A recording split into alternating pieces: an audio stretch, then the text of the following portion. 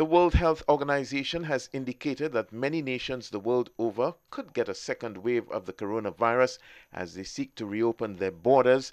St. Lucia's Health Minister Mary Isaac accused those planning illegal protests of being mischievous and putting the lives of the nation at risk. She pointed out that thus far government has done an excellent job of containing the spread and ensuring that no lives are lost.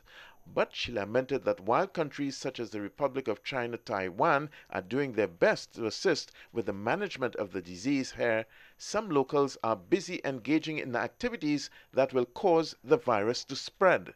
We have made an excellent effort. We have done excellent when it comes to managing and containing this virus.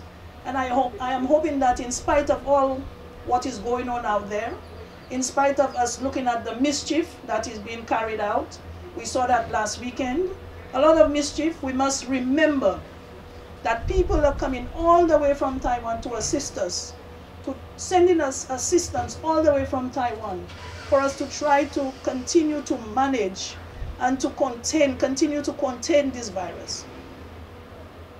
Yet you see people right here in St. Lucia who are encouraging people to get involved in activities that may well cause us to spread the virus in our small little island state. And that is very sad.